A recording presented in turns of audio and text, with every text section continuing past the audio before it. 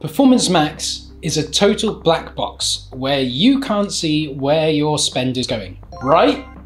Wrong.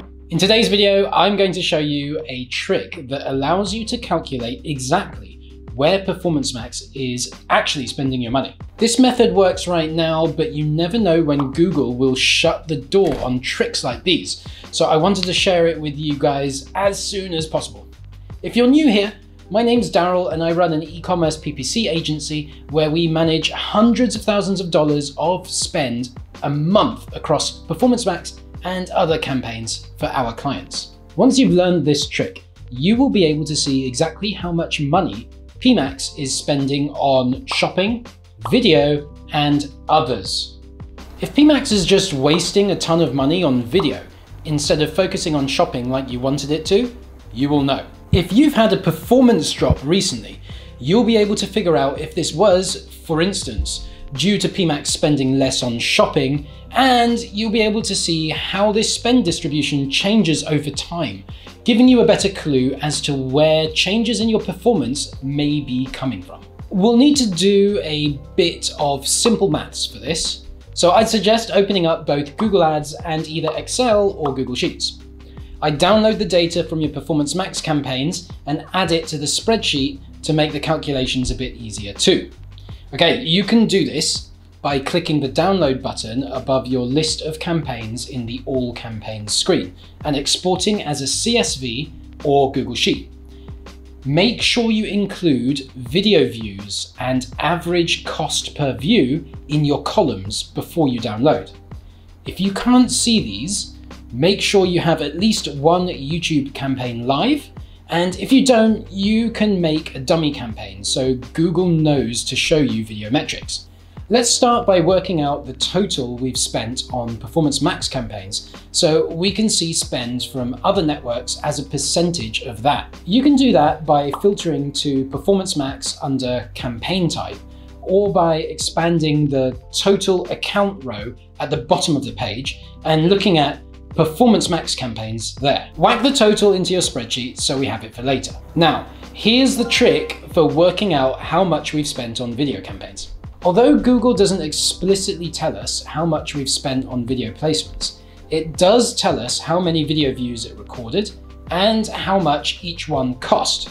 That's why we downloaded the video views and cost per view earlier. To work out the spend for video ads, it's as simple as taking the total number of video views and multiplying it by the average cost per view. Now we've got our spends for video. We can divide that by the total we've spent on Performance Max campaigns to give us the percentage that Google has served on video placements. This is a good start, but how do we work out how much Google has spent on shopping placements as well? Luckily, this is even easier if you know where to look. Go back into Google Ads and click on the Performance Max campaign you want to analyze. Once you're on campaign level, click on the listing group on the menu on the right. At the top, you'll see the cost for all products, which is the total shopping spend in that Performance Max campaign. Then, simply repeat the same process of dividing shopping spend by the total spend to give you the percentage that's been spent on shopping.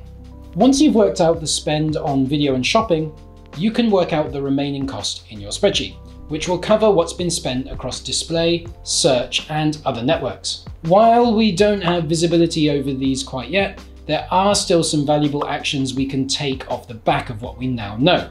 Let's say that a large proportion of the campaign's delivery has gone towards video, when this used to only make up a small percentage of spend when you ran the campaigns manually. In this case, we can conclude that the video creative we're running could probably be optimized given that Google's identified high intent users as being on this network, but the ads aren't connecting.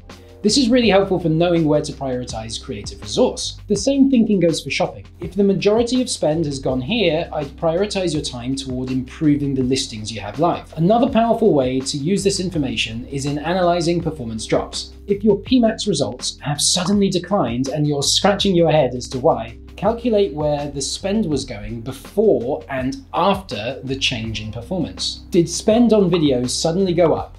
Or spend on shopping suddenly came down? At the same time as your performance drop.